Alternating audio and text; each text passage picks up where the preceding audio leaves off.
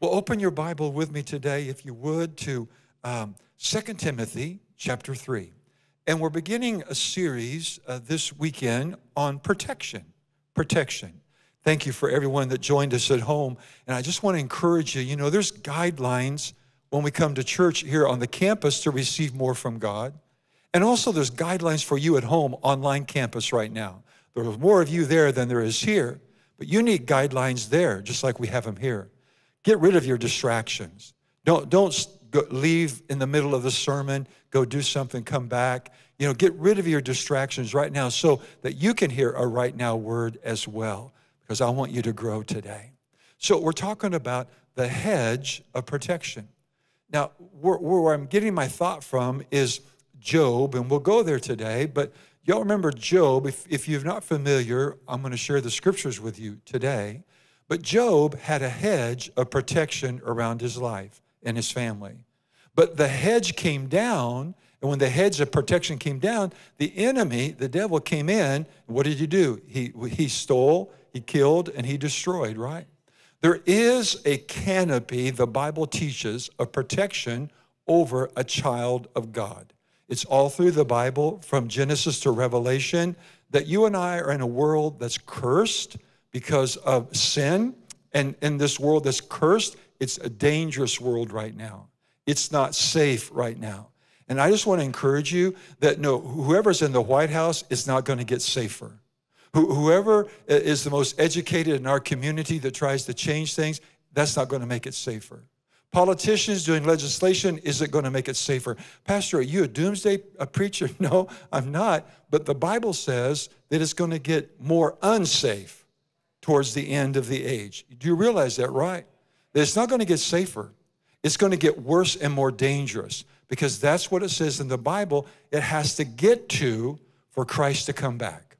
So uh, it's all in the Word of God that we're, we're living in a very dangerous world right now, and it's going to get more dangerous. It is not going to get safer, it's going to get more evil and more dangerous. So, what do we do? We arm ourselves, we equip ourselves, we prepare ourselves. We, what do we do? We make sure we're under God's covering. We make sure that we're under God's force field. Star Trek isn't the first one that came up with a force field.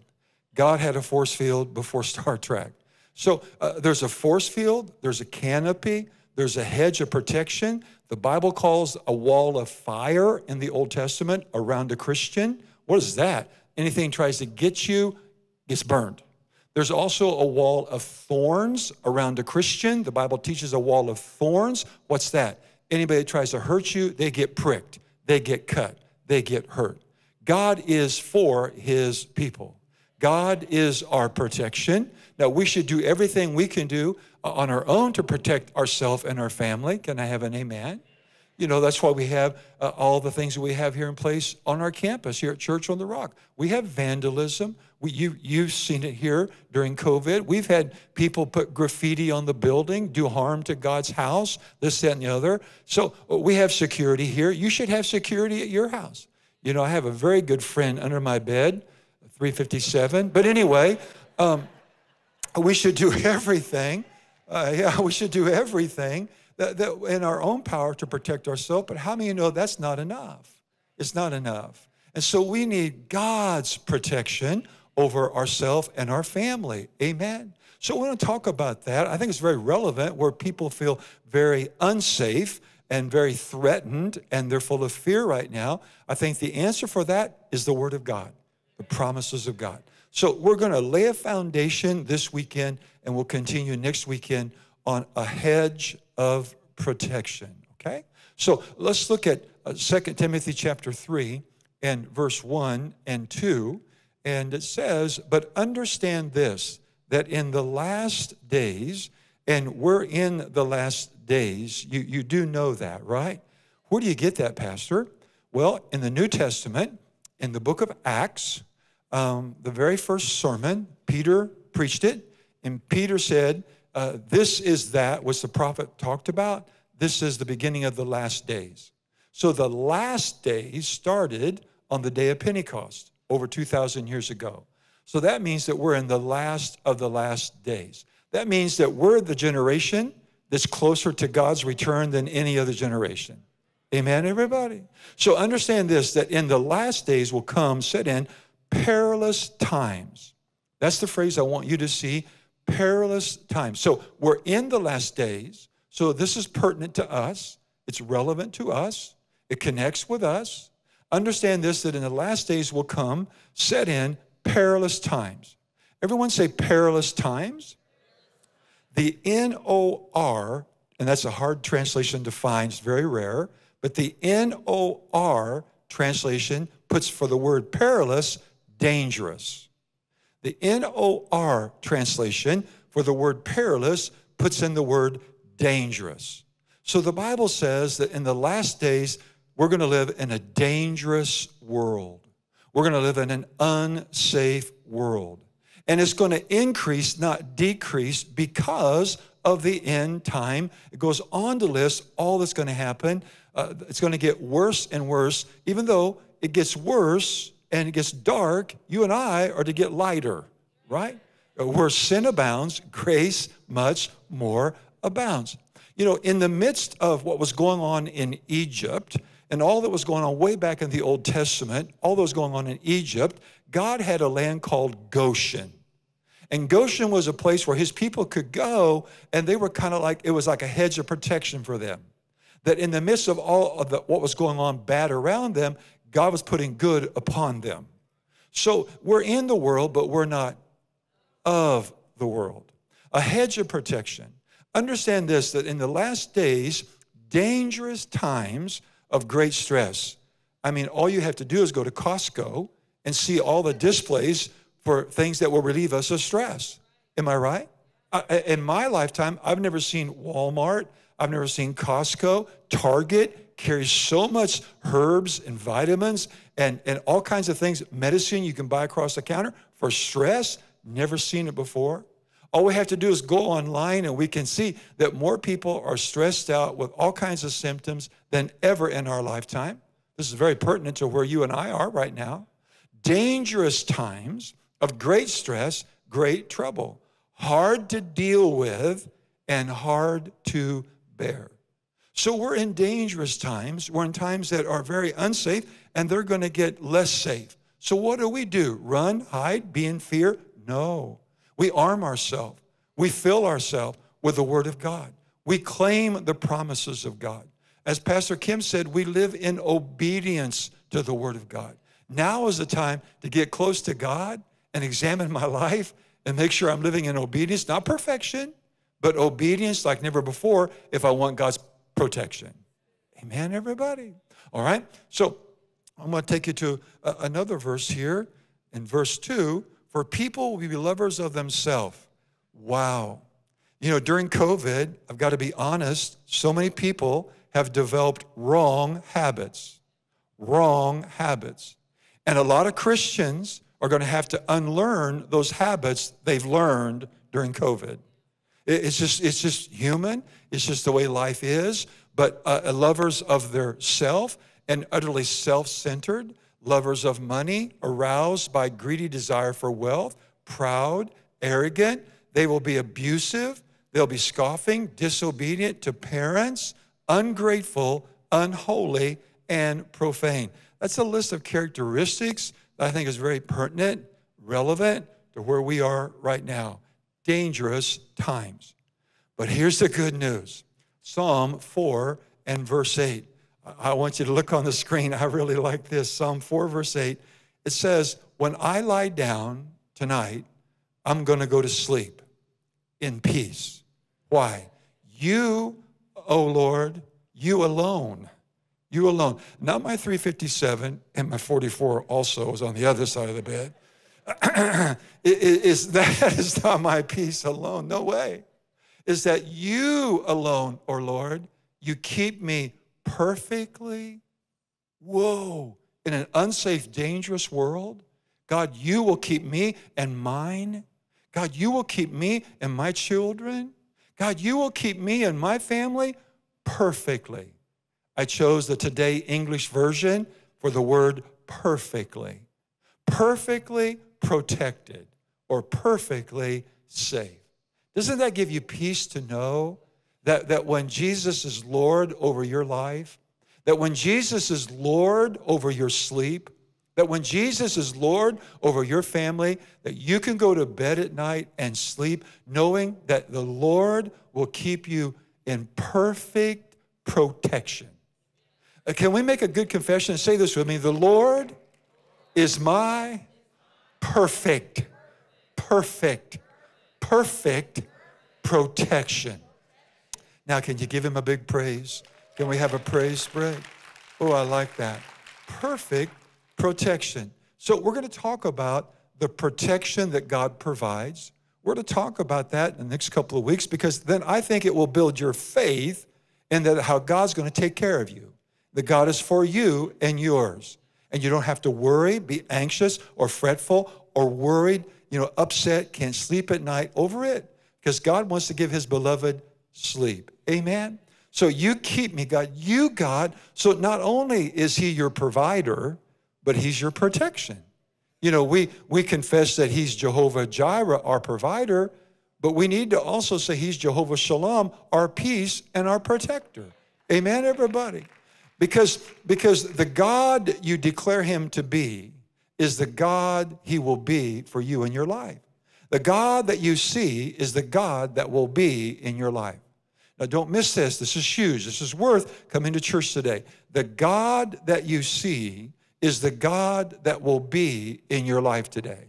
The God that you say who He is is the God who will become in your life today. I don't understand it. Watch this. He never became your Lord until you confessed Him as Lord. He never became our Lord until we confessed him, said, declare, Jesus, I believe in my heart, I confess with my mouth that you are my Lord. He never became my Lord until I declared who he was. So he'll never become your protector until daily you declare he's your protector every day. Y'all see that principle? It's powerful. Uh, the God will be the God that I see. When I see him as my protector and I declare him as that, then he becomes that. Pastor, you mean he doesn't watch over every Christian? No. He doesn't protect every one of his children? No, he doesn't. Because some of his children are doing things that's pulled down the hedge. And the enemy has gotten in and he's come to steal, kill, and destroy. You know, I can't put God out of schools, out of politics, out of church. I can't put God out of the community and expect God to protect me. There's no way. I, I can't say I don't have time for God. I, I don't have time for him. We can't put him in the in the schools. We can't have him at different events. We can't have him at. at I remember one time I, I was called to pray over an NFL game, an NFL game, and I was asked to come down and pray over the game. But they told me you can't say Jesus and you can't say God, but pray over the game. I wanted to pray over the game. Hallelujah. You know what I mean? Amen. I wanted to curse the game. Hallelujah. Uh, but, but they told me, no, you can't say Jesus. This is an NFL game downtown. You can't say Jesus and you can't say God. You know, how can we expect a God to protect the nation? How can we expect a God to protect a household, a marriage, our children if we don't have time for God, if we won't let Him in, if we won't let Him be Lord, and protector over our life. Amen, somebody. All right? But the good news is, He will keep you perfectly protected when He's your Lord and when He's your protector. I love that. So now let's go to a story in the Bible that talks about the hedge of protection, kind of laying a foundation. And, and I really like this. This is Job, and it's chapter 1, and we're going to read verses 1 through 10 in the New Living Translation. Now, let God speak to you today uh, as we read this and we look at the life of Job. Now, y'all say, you know, I'm just like Job. I, I, I hope you are. I hope you are just like Job. Because Job just had one bad year. I'm going to come over here. I think I got an amen corner over here. Historians tell us that the book of Job was nine to 12 months, period. So he had one bad year. And did you know that before uh, that one bad year, he was a billionaire? I hope you're like Job. And did you know afterwards, God gave him double for all his trouble, so he was a double billionaire. I hope you're like Job. Come on, somebody. Just tithe off your increase, okay? Oh, what could we do around the world? Amen? All right, so there was once a man named Job who lived in the land of Uz, not Oz, but Uz. Follow the yellow brick road. He was blameless, a man of complete integrity. Now, watch this now. He was blameless. He was a man of complete integrity. He feared God and he stayed away from evil. Verse 2 He had seven sons and three daughters, had a large family. He was a billionaire. He owned 7,000 sheep, 3,000 camels, 500 teams of oxen, 500 female donkeys. He also had many servants, employees. He was, in fact, I hope you're like Job, the richest man in the United States of, oh no, the richest man in that entire area. Job's sons would take turns preparing feasts in their homes, and they would also invite their three sisters to celebrate with them. When these celebrations ended, sometimes after several days, Job would purify his children. He would get up early in the morning and offer a burnt offering for each one of them. He was a worshiper, wasn't he? For Job said to himself, Perhaps my children have sinned, have cursed God in their hearts. This was Job's, ooh, regular practice, it was a habit. One day, the members of the heavenly court came to present themselves before the Lord. And the accuser, who's the accuser? Not God, but the Satan, came with them. Where have you come from? The Lord asked Satan. Satan answered the Lord, I've been patrolling the earth. Isn't he right now seeking whom he can devour in St. Charles County, St. St. Peter's, O'Fallon, Wentzville, St. Louis County, right? St. Louis? I've been patrolling the earth, watching over everything that's going on. Oh my goodness. Then the Lord asked Satan, Have you noticed my servant Job? Now, somebody might read this, you might think, man, that does God's getting him to have attention, uh, attention for, for him to have attention to Job. In the original Hebrew, it doesn't word like that. Old Testament is Hebrew, New Testament is Greek. Excuse me. In the Old Testament, it doesn't read like that. They kind of missed it here. Have you noticed my servant Job? God's actually saying to him, Why have you noticed? Why have you noticed my servant Job? And you know why he did? The hedge is down. He did because the hedge is down. The hedge of protection is down. Job opened the door to the accuser. Wow. And, and, and, and Satan noticed it because Job uh, was so close to God. Job was a worshiper. Job put God first place. Then the Lord asked Satan, Have you noticed my servant Job? He's the finest man in all the earth. Notice that you can be, you can be holy and wealthy. okay. Boy, Church on the Rock, all they talk about is prosperity. You want me to talk about poverty? What's the, you know, and I don't think that's all we talk about. Do you, or those of you who are, uh, uh we hardly, very rarely ever talk about it, okay? So, but right here, right here, have you noticed that you can be the richest man in the world and also close to God? Well, I thought riches would ruin you, Pastor. It's not what, it's not, God's not against us having things as long as things, y'all got it. I love you big time. Have you noticed my servant Job?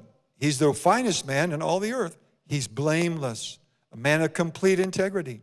He fears God and he stays away from evil. Satan replied to the Lord, Yes, but Job has a good reason to fear God. Verse 8, the Lord said, Excuse me, verse, there we go. Verse 10, I love this. You have always put a wall of what? There's our, there's our, there's our theme for our series we're starting today a wall of protection in dangerous times. So you put a wall of protection around him and his home and his, ooh, we want that for our house, right, everybody? For our home, our children, our family, our stuff. You put a wall of protection around him and his home and his property. You have made him, God made him. You have made him to prosper in some things, a few things, once in a while, not during COVID. In everything he does, look how rich he is. Now, family, am I reading the Bible? Is this the Bible? So notice here, uh, he, Satan noticed that wall of protection around him. So he knows it as well as if you and I have a wall of protection around us, around our family, and around our property. You have always put a wall of protection around him and his home and his uh, property. You've made him to, boy, I want God to make you to prosper. I don't want man to make you prosper. Because if man makes you prosper, he can deprosper. Is that a word, you English teachers? Uh, he, he can take it away, right? But, but if God prospers you, man can't take it away, right? You've made him to prosper in everything he does. So you can be hot for God, close to God, hungry for God, not religious, but spiritual. At the same time, be blessed financial, materially, physically, mentally, and socially. Amen, everybody? You, you have made him to prosper in everything he does. Look how rich he is. Well, well, why did the wall of protection go down? Job 3, verse 25. Uh, the wall of protection, the devil knew when it was up, and Satan knew when it was down. Satan knew when it was up, and Satan knew when it was down. In Job 3:25, for the thing which I greatly feared, wow, is there fear like never before around us, right? Yeah, fear to go to church, fear to go to the grocery store, fear to get out of the house, fear to do this and that and the other. The thing which I greatly feared, it's like a magnet. Came upon me. And that which I was afraid of has come unto me. Wow, the thing that I fear, I'm going to attract into my life. Fear is, what makes the kingdom of darkness work. Fear is what allows the devil to go to work in our life. I was not in safety. Look at verse 26. I was not in safety, neither had I rest, neither was I quiet, and yet trouble came. This is this is uh, Job. Let's go back here. Other translation, guys. We have one more translation, I think, instead of the King James Version. Here we go. New Living Translation. Look what Job said. This is what brought the wall down. Fear will bring the wall of protection down. Fear opens the door to the accuser of the brethren and Satan. Fear. You know, it's amazing. I know we should take precaution, but we shouldn't, you know, judge one another. Come on, somebody. You know, we should. I'm at the bank this week, the bank. And I go into the bank and I had my mask on. I'm walking into the bank. They got their shields there. That's what we're supposed to do. We want to do the precautions that the, that the county wants us to do. But I'm standing and they're asking me questions about my account. So I'm real techie now. You know, I've gone to automatic on the phone now. Can you believe that? So I, I pull up my iPhone and, and I have to do a facial recognition, you know, to open up your account on your phone. So I just pulled my mask down just long enough right down here just to do that. And they screamed at me from the other side. Get your mask up right now. Don't be. Uh, you know what I wanted to do? But I didn't do what I wanted to do. And I simply said to the teller, I can't get into my account without a facial recognition. I think that's going a little bit too far. Come on, somebody. That's, the Bible says that no plague will come nigh your dwelling. COVID is a plague. All right. So what have I what I always feared has happened to me. Oh my goodness, if I'm afraid I'm going to get COVID, you're going to get it. If I'm afraid I'm going to get a plague, Katie bar the door, you're going to have it. What I've always feared happened to me. What I dreaded has come true. Oh my goodness. So we're talking about a wall of protection, and Jesus wants to be our perfect protection, but what will bring that protection down is fear and dread. Fear and dread. So uh, this verse I have no peace, and I have no quietness, and I have no rest, only trouble comes. Wow. So now I want to take you to Psalm 91, and many of us are familiar with that. But I, want to show you now in this wall of protection that God has for each and every one of us as his children. He doesn't give it to people or nations who forsake him. You can go in the Old Testament and, and what happened when the children of Israel forsook God? God brought the protection down and their enemies destroyed them. God cannot protect the nation or family or a person that's not putting him first, not honoring him first not making him as Lord in their life.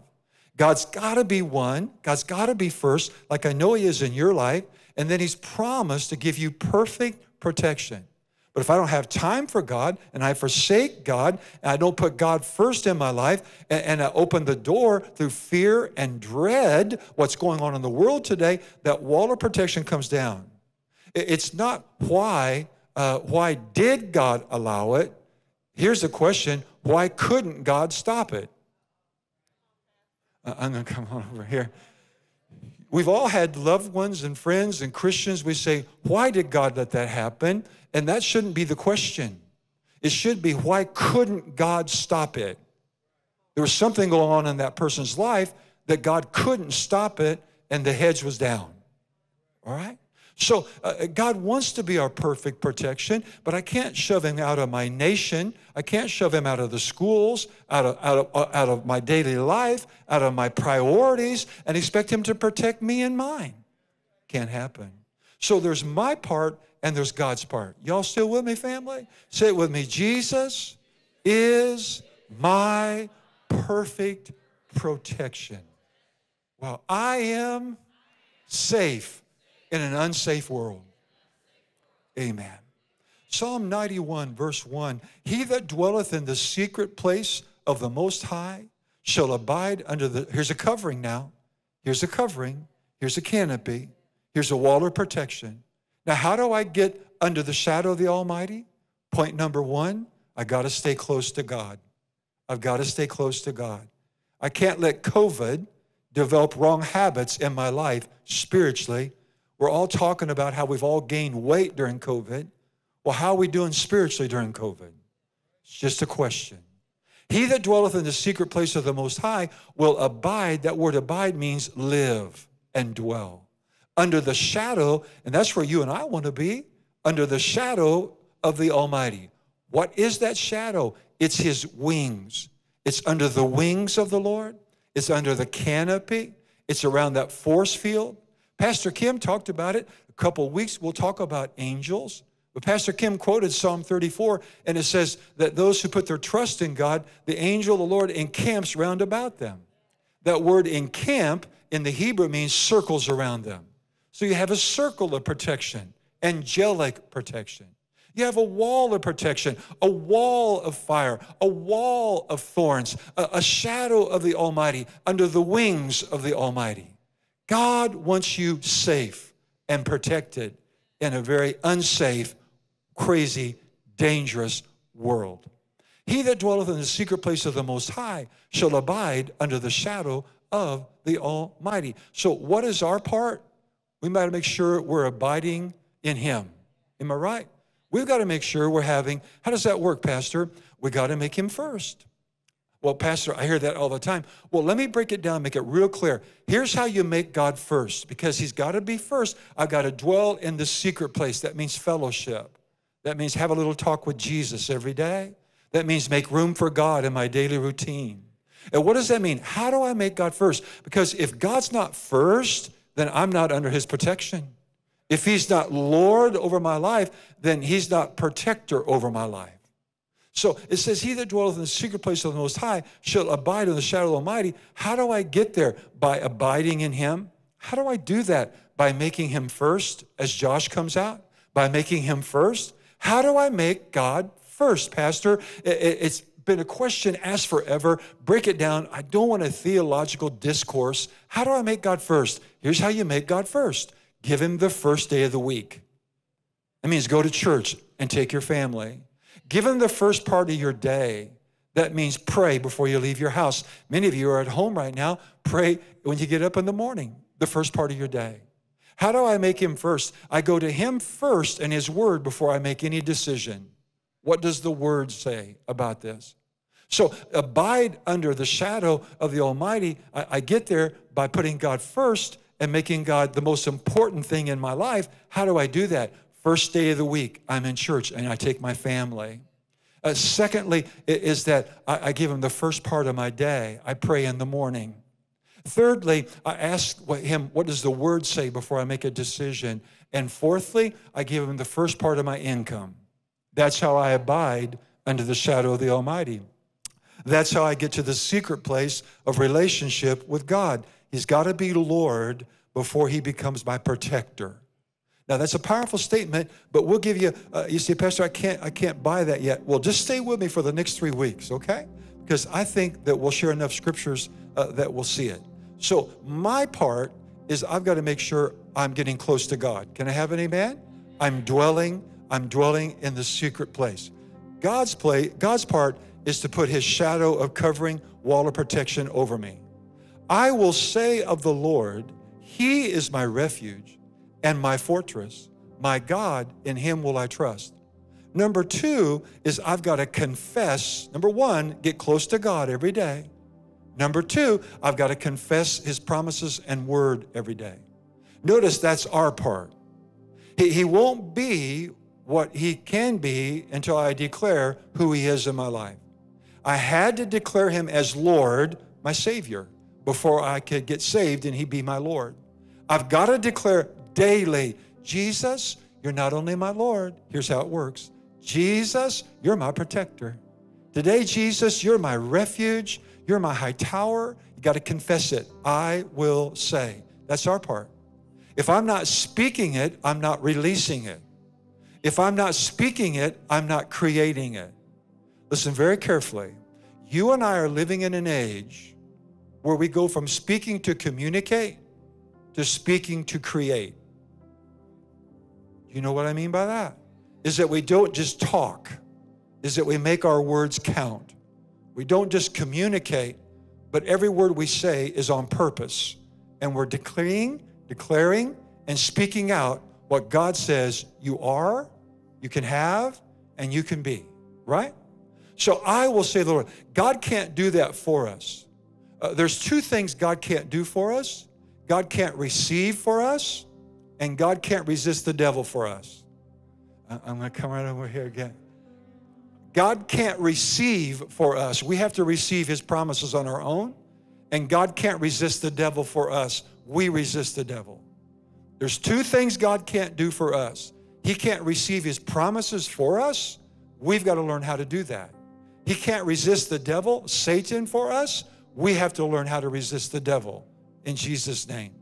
So I will save the Lord. That's our part. Question Are you confessing every day? And how many times a day are you confessing Jesus is your perfect protector? Let's start doing it like never before. I, I want to encourage you. I want to do it more. I want to increase it. I want my faith to grow in His protection. I will say the Lord, He's my refuge, my fortress, my God. In Him will I trust. Oh my goodness, I've gone way too long. And he says, Surely he will deliver me from the snare of the fowler and from the noise pestilent. COVID. You know, isn't this amazing? Surely he will deliver. Uh, did you notice verse 2 comes before verse 3? Verse 2 says, You have to say it. And verse 3 says, Then he's able to do it. Do y'all see that? I will say, Surely he will deliver. I will say, Surely he will deliver. I have to say it before God can do it. I have to say it before God can have a legal right to do it. And then verse 4, I'll close with this. He will cover thee. Here's a covering. Thank you, Lord. Here's a force field. Here's a wall of protection. Now, Job had one. And what did he do to bring it down? Fear and dread. You and I, every time we see a mask, what comes on us? Fear. Every time we see a, a, glass someplace, what comes on us? Come on now, be honest, fear. Now, it's not a sin for fear to come to us, but it is a sin for us to let us live within us. It comes to all of us, and we shake and, and we get nervous and we get panicky and, and we get upset. But the key is, is when that's happening, we got to rise up in Jesus' name and rebuke it and resist it. Can I have an amen?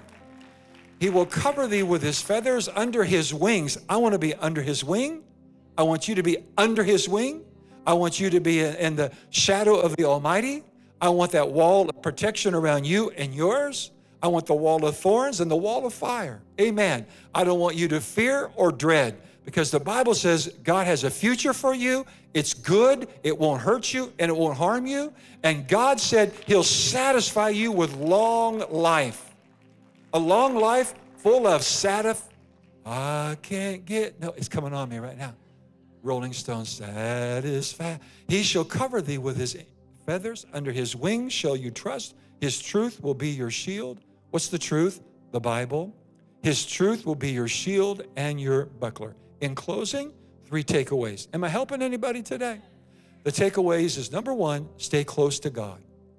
He has to be Lord. If he's not Lord, here's what uh, old preachers used to say if he's not Lord of all, he's not Lord at all. And if he's not Lord of all, he's not Lord at all, the wall of protection is down, even though I'm a Christian. Okay? Because I can't, I can't expect his protection and him not be first place. He's got to be first. It's not, you know, why couldn't God, why, why did God allow it? It's why couldn't God stop it? Or something happened that God couldn't stop it because something stopped him from stopping it. Stay close to God. Uh, he has to be Lord of our life. And I know He is in your life today. I do, because you wouldn't be here if Jesus wasn't Lord in your life today. Come on, somebody. Or if He's not, you want Him to be, or you wouldn't come out today. Number two, confession. I've got to declare God's promises. Verse 2, I will say. Verse 3, then he can do. So we need to say every day, Lord, you are my perfect protection. I'm safe in your arms. You're watching over us. We, we could declare, right? Isaiah 54 17, no weapon. That's COVID. No weapon formed against you shall prosper. Amen, somebody?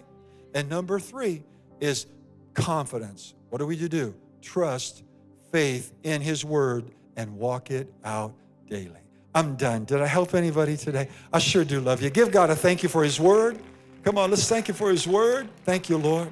Thank you, Lord. Thank you, Lord. Would you stand with me, please? And on your way up, you can praise Him. I, I love to praise you, God, for your word. I thank you that it's working in our life. We're going to walk it out. We're not just a hearer, but we're a doer. And God, today, just begin to thank Him. Make some declarations. The word has fallen on good ground 30, 60, and 100 fold. God, today we begin to declare like never before in an unsafe world, we're safe in a world that's dangerous, you're going to protect us, me and mine. You're going to protect our family. Just begin to make some declarations now. You're going to protect our family, our property, our property, our homes, our cars, our trucks, our stuff. Thank you, God. Thank you, God. Thank you for a hedge of protection.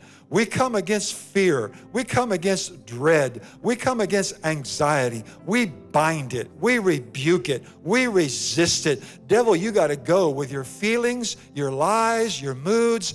Get in Jesus' name. Thank you, Father. Thank you that the word is working in our life and it will not return void. In Jesus' name, all of God's blessed, protected people said, one more time, give God a big, big, big, big, big shout. Amen. Thanks for watching this week's message. Here at Church on the Rock, our purpose is to help you know God better. And one of those ways is through Growth Track. We have a four step process online that you can take anytime or maybe consider joining us in person. But to take your next step and to find out all the incredible things we have to offer here at Church on the Rock, encourage you to go over to cotr.org slash online or you can email us at online at cotr.org. And never forget, God is for you.